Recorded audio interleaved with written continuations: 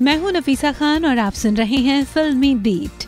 Director Ram Madhvani की film नीचा cinema घरों में रिलीज़ हो गई है। रियल इंसिडेंट पर बेस्ड इस फ़िल्म में सोनम कपूर, शबाना आजमी और शेखर अवजियानी ने अहम किरदार प्ले किए हैं। फ़िल्म की कहानी नीरजा सोनम कपूर के इर्द गिर्द घूमती है, जो पेन एम सेवेंटी थ्री में फ़्लाइट अटेंडेंट हैं। 5 सितंबर उन्नीस सौ छियासी को इस फ़्लाइट को कराची एयरपोर्ट पर चार आतंकवादियों के ज़रिए हाईजेक कर लिया जाता है। इस दौरान नीजा कॉकपिट में बैठे पायलट को फ़्लाइट के हाईजेक होने के बारे में इन्फॉर्म कर देती हैं और वो वहीं से बाहर निकल जाते हैं। इधर आतंकी पायलट चेतावनी देते हैं कि यदि पायलट को नहीं बुलाया गया तो वो हर आधे घंटे में एक शख्स को मौत के घाट उतार देंगे।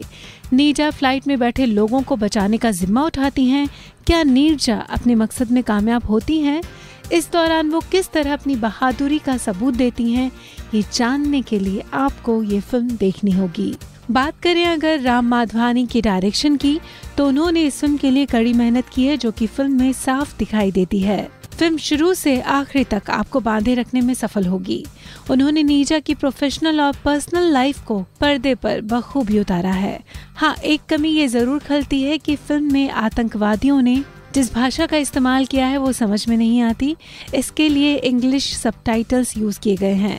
ऐसे में जिन लोगों को इंग्लिश नहीं आती, उन्हें कहानी समझने में दिक्कत आ सकती है। बात करें अगर फ़िल्म में एक्टर्स की एक्टिंग की तो सोनम कपूर ने नीरजा के किरदार को बखूबी निभाया है। इसके अलावा नीरजा की माँ के रोल में शबाना और पिता के रोल में हरीश टीकू काफ़ी शानदार लगे हैं। सिंगर शेखर अवजियानी का रोल छोटा है, लेकिन अपने रोल में वो फिट बैठे हैं। बात करें अगर फ़िल्म के म्यूज़िक की तो म्यूज़िक इस फ़िल्म का अच्छा है। फ़िल्म का रोमांटिक गाना, गहरा इश्क और ऐसा क्यों माँ? काफ़ी अच्छे लगते हैं सुनने में।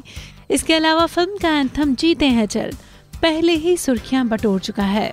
अब बात करते हैं कि इस फ़िल्म को क्यों देखें और क्यों ना देखें। अगर आप एक अच्छी सी बायोपिक का इंतज़ार कर रहे हैं तो कहीं ना कहीं ये फ़िल्म आपको थोड़ा बहुत निराश कर सकती है।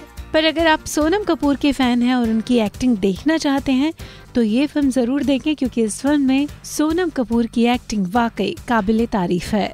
फ़िलहाल इसी खबर के साथ फिल्मी बीट में बस इतना ही।